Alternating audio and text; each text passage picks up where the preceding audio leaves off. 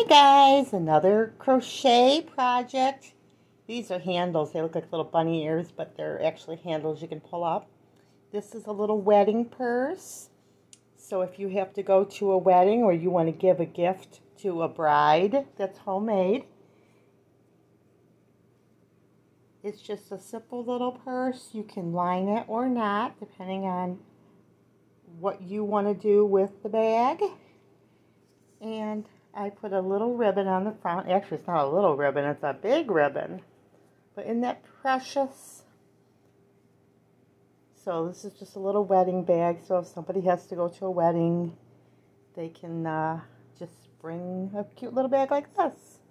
Okay, guys, remember, big or small, you too can be a backyard farm. God bless.